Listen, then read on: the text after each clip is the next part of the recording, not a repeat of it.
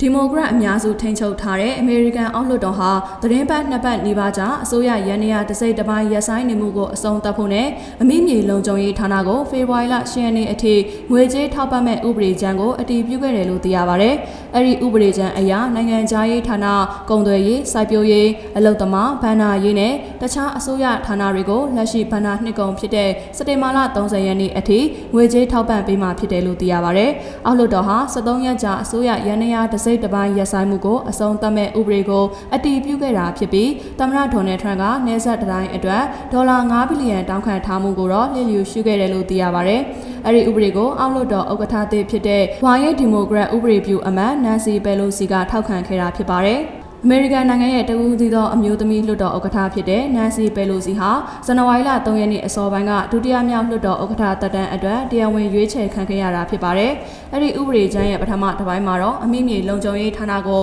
လက်ရှိပမာဏအတိုင်းဖေဖော်ဝါရီလ10ရက်နေ့အထိငွေကြေးထောက်ပံ့မှာဖြစ်ပြီးနေဆက်အကာရန်အတွက်ဒေါ်လာ1.3ဘီလီယံနဲ့ဤပညာနဲ့ကင်မရာတွေအပါအဝင်နေဆက်လုံခြုံရေးကိရိယာတွေအတွက်ဒေါ်လာတန်း300ထောက်ပံ့သွားမှာဖြစ်တယ်လို့သိရပါတယ်။ဒုတိယတစ်ပိုင်းမှာတော့လက်ရှိမှာငွေကြေးထောက်ပံ့မှုမရရှိတဲ့စာပြုရေးတဘာဝပတ်ဝန်းကျင်ထိန်းသိမ်းရေးတည်ယူပို့ဆောင်ရေးကုန်သွယ်ရေးနဲ့တရားရေးဌာနအပါအဝင်တခြားဗဟိုအစိုးရဌာနတွေကိုလက်ရှိဘဏ္ဍာနှစ်ကုန်ဖြစ်တဲ့စက်တင်ဘာလ30ရက်နေ့အထိငွေကြေးထောက်ပံ့သွားမှာဖြစ်တယ်လို့သိရပါဗျ။